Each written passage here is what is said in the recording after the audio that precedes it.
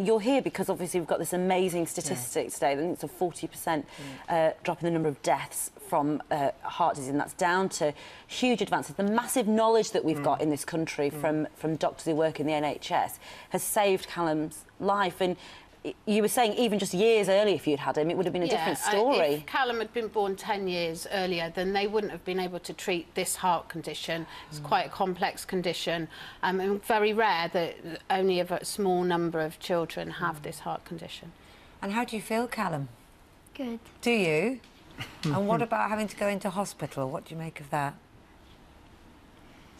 Good. Yeah, I bet you are. scary, But they are lovely, aren't They're? You like all the doctors and nurses, don't you? The support we get from Ward 32 at Bristol is just, you know, fantastic. They've been Yeah. with us all the way. You know, the nurses, mm. the play specialists that, you know, make sure you, you have lots of fun while we're there, and the, the doctors and mm. the surgeons are just outstanding, brilliant. really. Well done, Calum. Well, you look very story, fit yeah. and very healthy, and, and you're a brilliant advert for these amazing statistics. And it is Good Friday. Thank you for coming to us on Good Friday. Have you had any Easter eggs yet, Calum? Well, he did some filming with his consultant the other week, didn't you?